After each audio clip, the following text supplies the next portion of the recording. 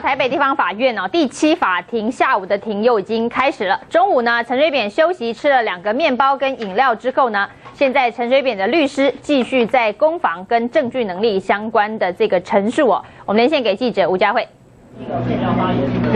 好了，下午的庭讯已经在两点三十分正式开始了。那么下午呢是进行的洗钱案跟国务案的部分，不过一样呢是针对证据能力的部分来进行讨论哦。那么陈水扁的律师呢是再次提出了几乎是所有的证据能力都呃所有的证据都没有证据能力。那么他也指出了这个陈水扁的许多几个比较亲密的家人，他们在特侦组做的证词都没有证据能力。到底律师是怎么讲的？请戴秋荣来告诉我们。秋荣，那么当时呢，律师郑文龙哦，他是提及包含是吴淑珍、吴景茂，还有陈水扁的儿子陈志忠以及女儿陈信瑜，还有当时的理财专员叶玲玲这些人呢，他们的所做的一些供述都没有证据能力。主要呢，这个律师的主张是认为说，除了是所谓的传闻证据之外，还有呢，呃，认为说这个陈水扁还有他的辩护人当时哦，在这些人被讯问的时候都不在场，因此呢，没没有和陈水扁来进行对质，并且呢，他们的律师也没有来做所谓反诘问的权利的伸张，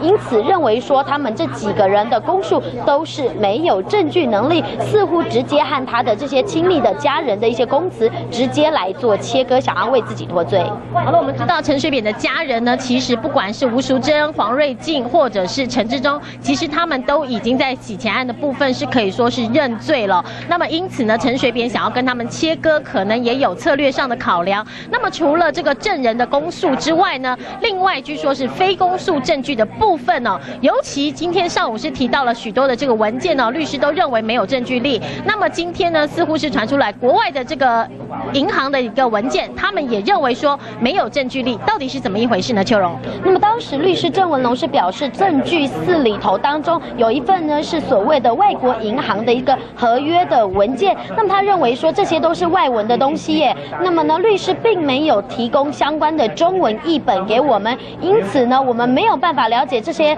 这个外国的文件到底在说什么东西呀，所以呢律师李当呃这个李当认为说这一份东西呢我们没有办法辨别它的真和假，而且认为说你应该要把这些外文文件附上了它具有证明的一些相关文件来佐证，因此质疑说检察官没有提中文译本，那么这一份所谓的外国的银行的文件呢没有具有证据能力。好了，我们原本以为哦，这个早上律师讲完了之后，下午轮到检察官讲。不过呢，现在这个蔡守勋的策略是说，呃，目前呢下午的部分是进行国务机要费案和洗钱案，那么一样是就证据能力的部分由律师先发言。那律师又开始接力赛了，一个接着一个。不过呢，这个下午陈水扁再次出庭哦，据说他今天中午呢已经有吃了两个面包，比昨天还要多一个，精神比较好，是不是秋荣？是的，那么其实哦，感觉得出来，早上的时候呢，可能是因为哦这个精神状况比较不好的状况，陈水扁呢自己也提到说，昨天晚上睡得并不好，所以早上是呈现有点昏昏沉沉的状态。不过下午开庭的时候，感觉出来似乎精神气色都好了一些，而且哦，当这个律师滔滔不绝来陈述相关洗钱案的证据能力的时候，陈水扁其实还蛮专心的在翻一些证卷证资料，并且呢是不时的来看这个荧幕所显示的这个呃这些庭讯内容是是有清楚明了的记载着。好了，我们知道今天中午的时候呢，陈水扁大概是在地下一楼的这个候审室，那吃了是两个面包，一个是奶油面包，一个是俗称这个炸弹面包的墨西哥奶酥面包。那么另外呢，据说是还有一个是也是法院这边提供的铝箔装的铝箔包装的这个饮料，陈水扁也都喝完了。那么因此呢，今天下午的庭讯目前看起来精神还不错，而且呢，可能他旁边人有告诉他啊，因为早上呢媒体记者在连线的时候都有特别强调陈水扁的头发好像特别乱。那么不过呢，刚刚呢据了解说陈水扁的头发也已经梳过，相当比较跟早上比起来是可以说是相对的比较整齐一些。不过呢，接连的这三天的这个庭训哦，今天尤其有可能要加班到晚上哦，那么也会随时来为您做插播连线报道。现在先将时间交还棚内主播。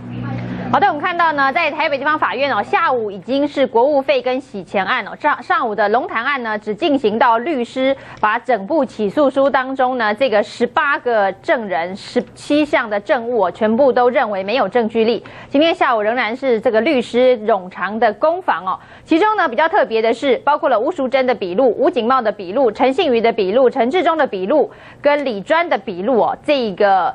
陈水扁的律师都认为没有证据力哦，甚至今天早上龙潭案当中他自己的笔录，他也认为是没有证据力哦。那这个会不会有点吴人讲的也不对，吴吴景茂也不对，陈信宇也不对，陈志忠也不对？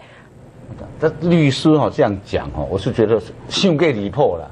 坦白说，你哈要看这个证据有没有证据能力哈，你是可以主张的，啊，你不能主张通通都没有证据能能力，那那个那意思说证据能力说作为证据的资格哦，并不是那个证据的法官采不采。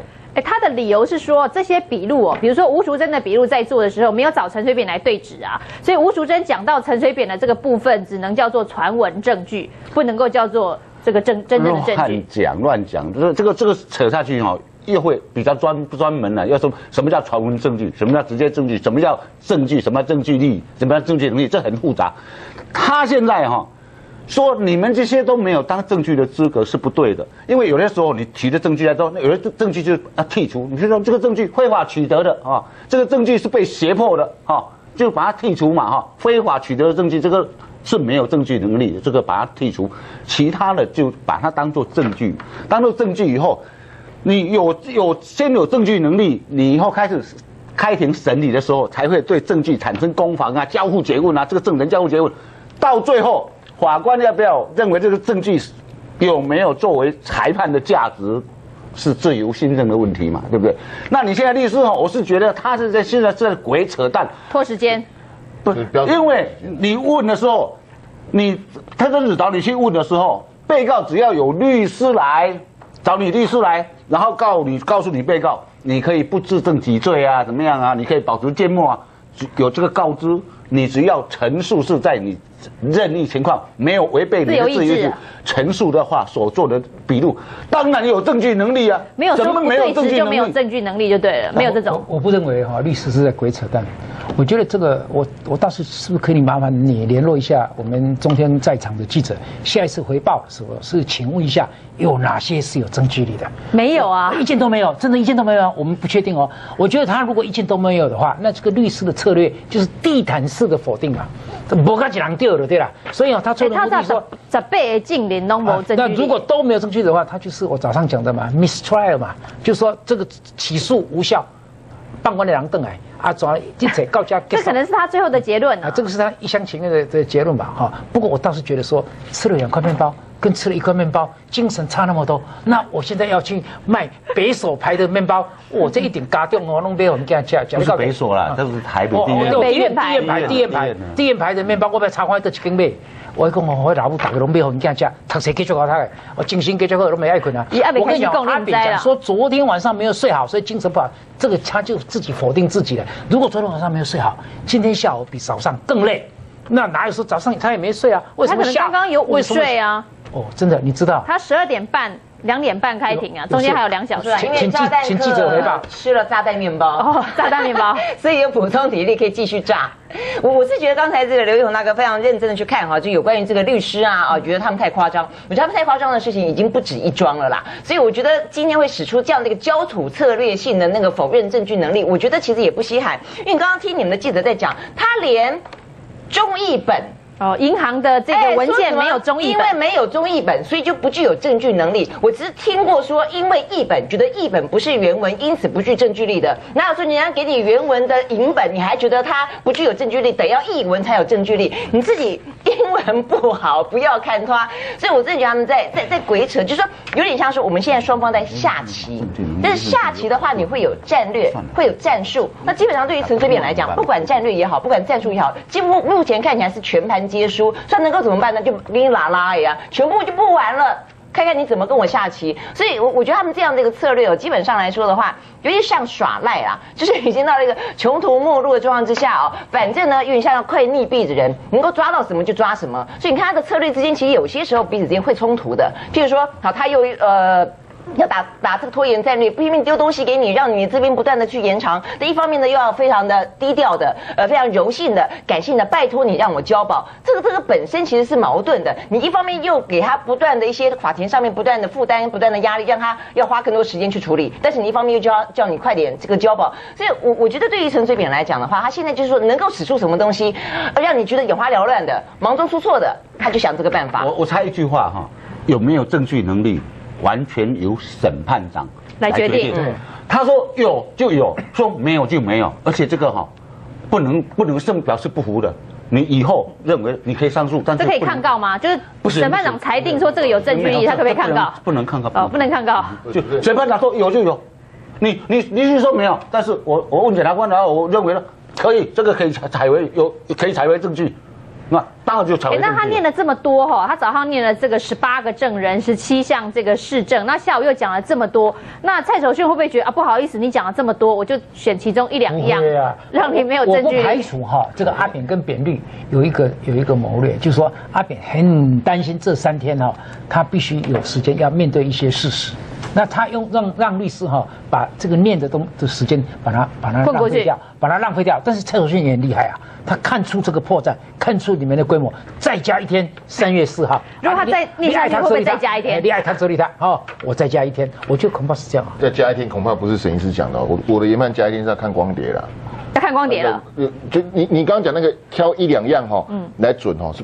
不可能，我我我我的我的研判是挑一两片来看是有可能的，挑一两个片段，蔡守训自己也觉得说，哎，这部分是不是有点问题的？比如说没有声音的，或是播放软体的等等问题哦。不，我我会觉得说，把光碟看一看哦，让他们闭嘴比较好了哦。首先哦，那个有外文的部分哦，那先公正的。嗯，好，就算是英文，那打个龙鲁，他会英文呢，不是吗？那英文、法文、德文什么的，你要到法院去公证。对啊，你英文，那你留留美的英文怎么看不懂？我就跟你讲，我看不懂啊。我们当然是以以中文为准。你你要你不翻译，然后检察官说，哎，我我这个叫证物，律师可以说我看不懂啊，那怎么办？那就得去翻译公证之后才能证据力哈。如果照陈水扁律师的标准哈，以后在侦查中起诉前哦，通通不能传证人啊，传证人没有用啊。如果照他的标准，传了证人就要把被告叫来，然后被告的律师也来，好，然后来对质，然后来行使什么反对诘问啊，什么有的没有的。他侵犯法官的权利。那那请问那还侦查个什么哈？所以这个是标准的无理取闹了。我认为刘玉红讲的没有错，就他洗干那臭洗两。哎，你不能说哈，对我不利的都不采，好都不都没有证据能力，什么国科会的公文啊，什么签单呐哈？那我请问李慧芬的发票还有蔡美丽的发票，是不是要一张一张来？好，就像你讲说，今天可能加班开庭开到晚上，说，请问李慧芬在君悦饭店的发票有没有证据能力？有没有？啊，大家再来研究老半天，那那那那根本开不完了，开不完了。所以你刚刚讲说那什么十几个证人、十几个公诉证据什么的，蔡守训在这个部分的诉讼指挥就是任你发挥嘛，你只要不要再谈什么光碟啦，谈什么共匪啊什么的哈，那些可能也可以谈。其实就不应该了。其实如如果律师要用这种。一个一个来，一张一张来的，那么多发票，国际要发票了一堆啊！你说人一张张来的话，那根本根本就开不完哦。我我的建议是这样子的哈，检察官也能审就审了啦，就不要再发言了啦。因为因为这些证物哈，包括发票啦，这些单据什么，是检察官侦查的时候收集起来的嘛？你编的鞭策，然后照册之后送到法院去，那那你要什么意见？除非刚刘大哥讲说，除非说法官说好。这个没有证据、证据力或证据能力的时候，检察官赶快举手说：“哎，其实怎么样怎么样？”那个再做说明就好了，其他让律师去发挥就好了，让律师表演了。我觉得陈水扁的几位律师哈，简直在杀时间呐，kill time 啊，在在宰杀时间哈。上个礼拜有没有记得陈正会他们针对陈正会的光碟跟证词说不具证据力，就蔡守信法官当场才是有证据力嘛？马永成跟林德训的庭上。好好。好，那今天是通通否认，哇！如果通通否认，任何证人、任何证词通通都都不算的话，那阿公阿林上来读书啊，你你来乱的嘛？你来来来回来读，到吴告如来乱的哈，这会有损律师形象哈。你看昨天是在换法院，你看这个哈，昨天还提出换法院，那不要换法官出头告嘴啊，戴口罩了，什么大动作都没有嘛哈。这就是输者兵法的程序战，打到底哈。我们知道这个律师啊，其在中古欧洲是一种变形。他在中古欧洲可以上诉到那个铁甲武士，两个拿那个武器啊，对吧？对撞，后来变成现代的律师。古代是拿中古骑士。我建议这三个律师是不是看去把那借 DVD 啊，今晚上看一下哈。调那个 Tom Cruise 演那个 Last Sunrise 最后武士，咱要输啊，不要紧了，输个 team 哈，但是要站得很英勇。你看他那个电影有没有？最后武士明知要输，但输得很漂亮，让人家末代武士，让人家肃然起敬嘛。如果你又打烂仗，又打得很难看，又输输个痛口，这三位律师跟陈水扁是同样的臭名啊，怎么不想自己的形象？陈水扁无期徒刑关定了，你三位律师以后还要做人啊，还要办案了。不要以后被指指点点，我觉得你们三个要顾及你们的形象。我觉得是陈水扁找他们来的目的，耶，就要摧毁他们的摧毁他们的律师生涯。对，他们都很清楚。郑文龙跟十一里还有洪桂山都很清楚。当然，对他们从来没打过这么奇怪的官司，要推翻整部起诉书。律师的诉讼策略之一啊，洪桂山这个这么老牌的律师啊，你说郑文龙跟跟那个石一林，他们号号称是研究刑事诉讼法的什么专家，对这些会不清楚吗？他们这样都把政治能力什么通通排除，他们觉得这个蔡守信会会会采用他们的意见吗？不会的嘛。那他们现在就是想办法拖嘛。那我认为蔡守信也不会给他拖，所以加开嘛。那三月四四号可以开，那三月十几号可不可以开？一直给你开啊。蔡守信也要赶快把它结掉，他他也很烦你这个案子老是在我这里啊。他也希望赶快把他出手丢到二审去啊！他很怕特侦，他很怕特侦组又来了，对，所以前面的还没送走，后面的追兵又来了。但要但但是陈水扁看他现在眼看说，哎，其他人纷纷认罪，哎，如果照这样认下去，加上他一认啊，马上就开审理庭了，很快案子就结束了嘛。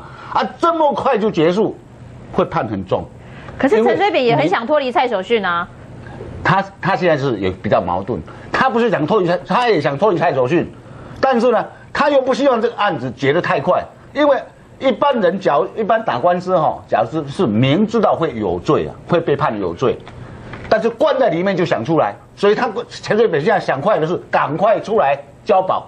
那交保之后呢，他希望案子拖，最好拖个五年十年哦，改朝换代啊，甚至后世怎么样，情势变更啊，整个社会氛围改变的话，判他轻一点。判轻一点，嗯，所以他很矛盾啊。第一个，他要希望这个案子赶快判，他才能够赶快出来啊。因为一审判完之后，他出来机会就大很高，就大很多了嘛，对不对？所以他应该希望赶快判，但是呢，他又不希望这个案子赶快判，因为赶快判可能又会判得很重。所以他到底现在该如何是好？莎士比亚可以告诉我们吗？所以是这个是本家四个人的基本原则吧，就是说又要赶快出来，又要。能够免罪，那妈妈也要小孩不要关啊，然后呢，钱财又可以保得住，就是什么都要，就是看不破，十全十美也很困难啊。以前我讲过嘛，叫和盘托出，全盘交出就没事了嘛。哦，但是胡宗宪讲，你们一家都在演戏，所以哦，在矛盾中就拖时间而已啊。我我刚刚你刚是讲哈姆雷特是不是？哦，对对，哈姆雷特。要要要是我是陈水扁律师哈，我叫他绝食哈，就真的绝食，抱着必死的决心来绝食，还像嘛？还像吗？豆腰啊！你你那，你太不了解这样子哈，这样子哈，交保的机会我觉得比较高的。对啊，不过我觉得对于陈泽南这个今天消息，我相信对于陈哲平是蛮大的振奋，是一个振奋。说呢，一审不认罪是对的。你怎么知道到二审、三审到底事情变化怎么样？可能过了很久的时间，大家忘记了，对不对？所以我一审一定不认罪，这个策略非常正确。到了二审可能就无罪。哎，蓝轩你，你这样一讲，很多人可能都都要都要改口供 了。气气的发疯。李介木啊，都改口供。那重点在说，我觉得当然了，这个陈泽南这个话题，如果我们要讨论下去的话，我觉得检察官当然也应该从这个案子当中得到教训啊。你的证据力要够嘛，否则这样等于自打嘴巴，哎，丢脸要死了。没错。不过这个证据力跟陈泽南的那个案子的证据力应该有很大的差别吧？差别很大。希望对，因为陈水扁这个案子哈，其实很努力的查，所以你是说陈泽南的案子不努力查了？陈水扁、陈泽南案子查了，其实哈，要是我的话。看这个罪证这么明显不足的，不该勉强起诉了。那你你觉得陈水扁这个案子是勉强起诉吗？我觉得不是。哦，没有谨慎的要命，对不对？那个时候就怕人家挑剔啊，所以他起诉的时候中间已经花了非常非常多的时间，所以不会有陈哲南事件的翻版。陈陈泽南那个案子哦，从分案到起诉三个月，太快了。那时候这个整个案子的专案小组召集人就是现在的总长，原班人马。陈聪明。哈，那时候吴文忠也在办这个案子啊，高姐啊。对，所以我是原班人马，我是跟你讲原班人马嘛，就就就就那几个人嘛。那你那你说有什么有什么不一样呢？那时候高捷的案子哦，不是我在讲哦，有没有最正确？刚刚蓝蓝轩说那个证据力跟证据能力，人家说很多证据啊，不是什么太牢放火烧宿舍吗？然后什么王彩碧他们在那个宿舍里面什么放电动玩具啊，哦，然后虐待外劳啊，然后那个什么劳委会到底有没有开放外劳什么什么的，吵乱七八糟一大堆，然后呢，最后结果是什么？那时候看起来都是轰轰烈烈，不是吗？是不不不，那时候那时候的所谓的证据证据能力也很强啊，所以王彩碧进去的时候行使缄默权啊，他没有绝食哦，他是行使缄默权，他从头到尾行使缄默权，睡，大家很凶啊。可是那时候传出来王彩碧为什么行使缄默权？说你拢卖讲吼，我靠，我让给出力的就处理了，所以王彩碧也无罪确定啊，就是这样子啊。我们先来接一下观众。